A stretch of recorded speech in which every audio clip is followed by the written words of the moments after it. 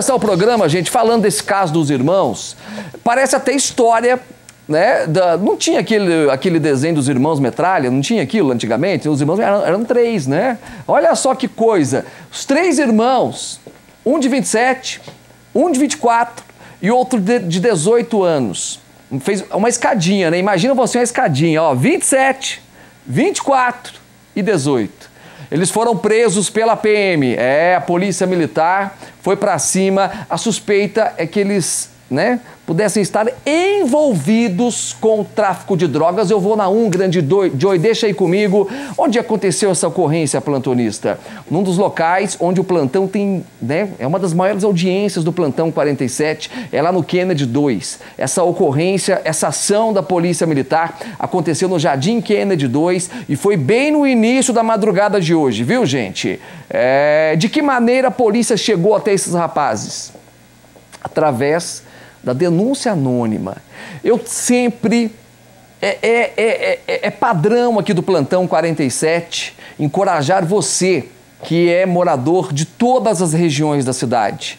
Por qual motivo? Porque a denúncia é anônima. Ninguém vai ficar sabendo que você, morador de alguma região da cidade, denunciou. Ah, Paulo, eu tenho medo. Não precisa. Não precisa. A partir do momento que você aciona os mecanismos de comunicação da Polícia Militar através do 190, você não precisa se identificar. Isso acontece também com o 181, viu? O 181, só para explicar aqui para quem não sabe, ele é interligado com a Polícia Civil. Então, através desses números, o serviço de inteligência é acionado e as autoridades vão para cima. E nesse caso, a denúncia dava conta de que estaria acontecendo tráfico de drogas em uma residência lá na Avenida Aeroporto. Gente, três irmãos são suspeitos. A mãe dos denunciados, quando a polícia chegou e bateu na porta, ela foi indagada. Minha senhora, nós podemos entrar para averiguar a situação? Olha só como é a mãe, coração de mãe. Ela permitiu a entrada da polícia militar na casa. Sim, ela disse: pode entrar, por favor.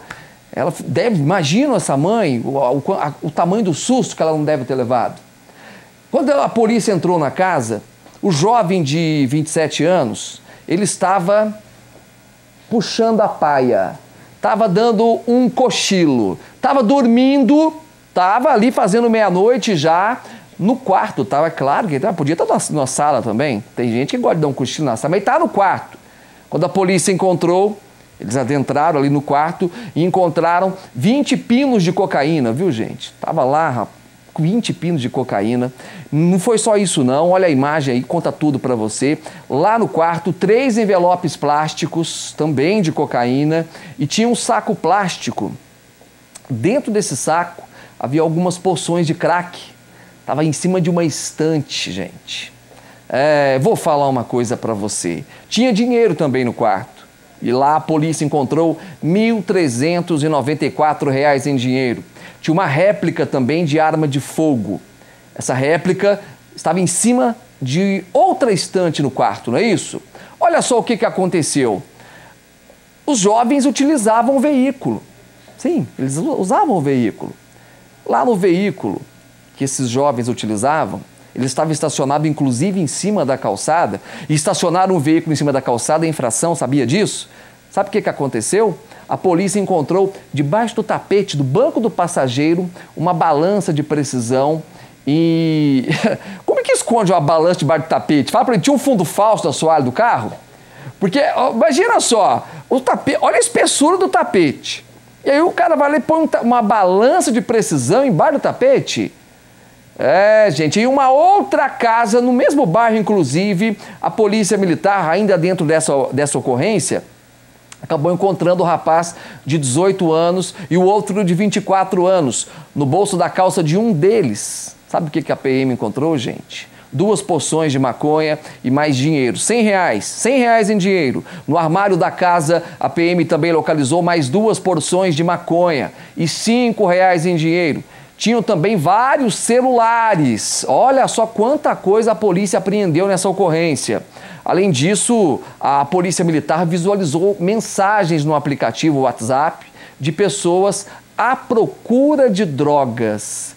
Uh, imagina só você, o cara, o cliente, manda um WhatsApp para comprar a droga. A tecnologia chegou também no mundo do tráfico, hein, Joey?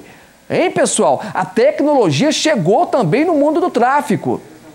Não estão perdendo tempo. Né? A tecnologia é usada para o bem e também para o mal, não é isso? Que situação. Você deve estar se perguntando aí, Paulo, mas e aí? O que, que aconteceu com os irmãos, com os três? O que, que aconteceu com eles? Bom, acho que você já deve ter em mente que eles foram encaminhados, viu, gente? Lá para a delegacia da polícia. Aliás, foram presos em flagrante.